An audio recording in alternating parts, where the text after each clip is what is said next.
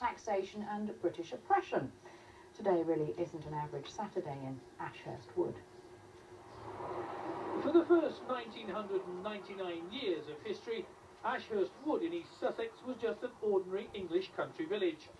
But then there was a meeting, and the People's Republic of Ashurst Wood, a nation state, or prawns for short, was declared. At the risk of cracking a very bad joke, they don't all think you're prawn crackers then. Oh, they do, and we are. In fact, it's a prerequisite that we are crackers. Mad and bonkers, and that's great. It's the norm in Ashurst. Now there are border checks to make sure no one enters or leaves the village without the correct paperwork. A Ministry of Propaganda, which doubles as the post office, where you could buy your prawns passport. And there are two ministries for mental health, which seem among the most popular places to visit. We have had to uh, um, admit a lot of people into the Ministry of Mental Health um, because a lot of the local prawns have gone crackers. Most of the two and a half thousand citizens not directly involved in the government of prawns seem to be strong supporters of the new administration.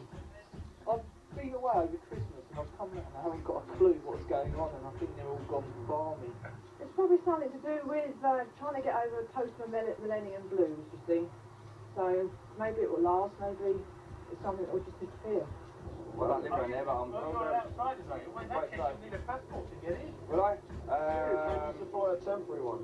Well, it's not, not to do with me. I'm what the hell is that? See?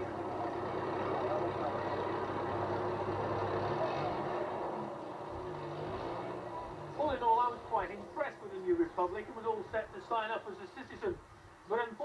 Apparently I've already broken at least six of the new rules of the Constitution. So as you can probably see, I'm now being deported.